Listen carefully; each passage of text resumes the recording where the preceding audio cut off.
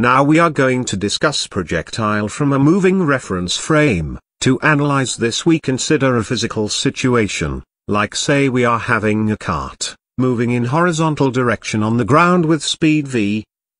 On the cart there is a boy who throws a ball. With a speed u relative to cart at an angle alpha from the horizontal, we can simply state that this particle or the ball will follow a projectile motion but this motion cannot be analyzed with the relations studied earlier. Here we can state that the speed with which the ball was thrown. It was relative to cart. When the boy was holding the ball, the ball itself has velocity v as it was in the cart. So if the ball was thrown, at an angle alpha with the horizontal, the horizontal component of this ball's velocity can be written as u cos alpha plus v, because v was already there in ball and u cos alpha is provided by the boy. And in vertical direction we can state that the ball was imparted with velocity u sine alpha and there was not any other velocity because the cart is moving horizontally not vertically. So here we can say initial velocity components of ball's motion. We can simply state that in x direction it is u cos alpha plus v, and in y direction it is u sine alpha. Now during this motion the ball continue to move with constant velocity u cos alpha plus v that is ux, and in y direction it is moving with velocity u sine alpha and it is retarded by g. So we can simply state that in this motion throughout the motion, the total time of flight can be calculated by its vertical direction and that time of flight can be used for calculation of range of projectile. Here if we simply state time of flight, so always remember that the time of flight can be calculated from y direction motion that is free fall. In this situation the particle was thrown up with a velocity u sine alpha and is retarded by g. So time taken to reach up will be u sine alpha by g. And this same time it will take to come down. So time of flight can be simply written as twice of uy by g. That is in this case it will be 2 u sine alpha by g. It remains same as that of the normal projectile. Now if we wish to calculate the horizontal range of projectile, in this case horizontal range can be simply written as, velocity in x direction, multiplied with time of flight. So here horizontal velocity, which it was having initially having, can be written as u cos alpha plus v, and it is multiplied with time of flight that is 2u sine alpha by g. This is the way how we calculate the horizontal range of projectile. We will also see some examples based on this.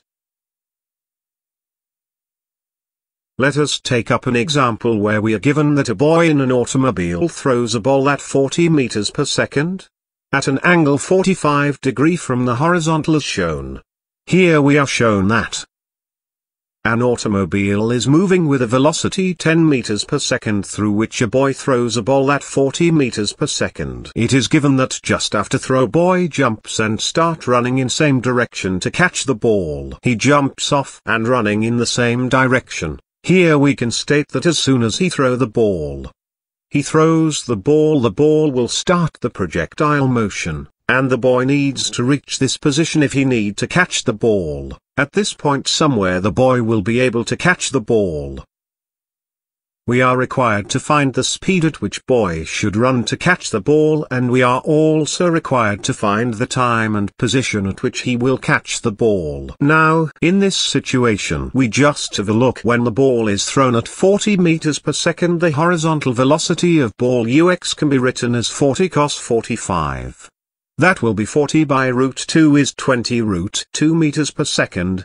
Plus the ball will have speed of automobile so this will be 20 root 2 plus 10 meters per second this is the net horizontal velocity of ball with respect to ground with which the ball is moving forward. So when the boy jumps off to catch the ball, ball has to move with the same speed so that, the horizontal distance covered by the ball and boy is same at the same time.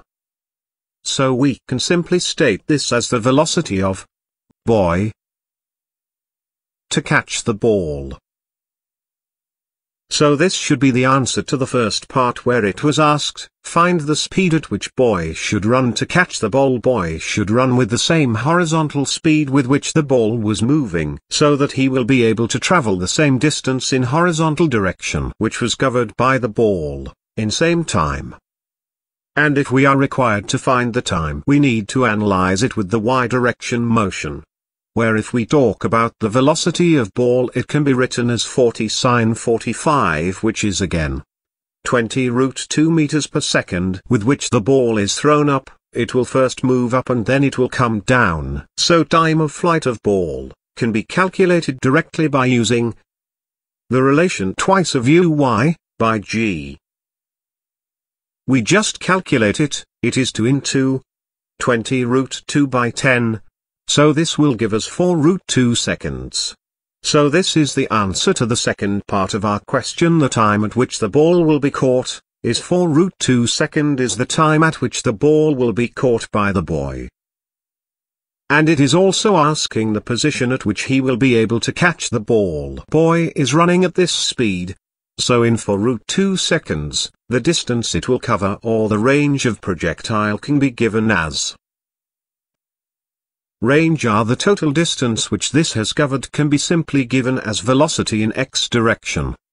Multiplied with time of flight, this will be 20 root 2 plus 10. Multiplied with 4 root 2. So that is the distance will be 160 plus 40 root 2 meters. This is the answer that the boy will be able to catch the ball.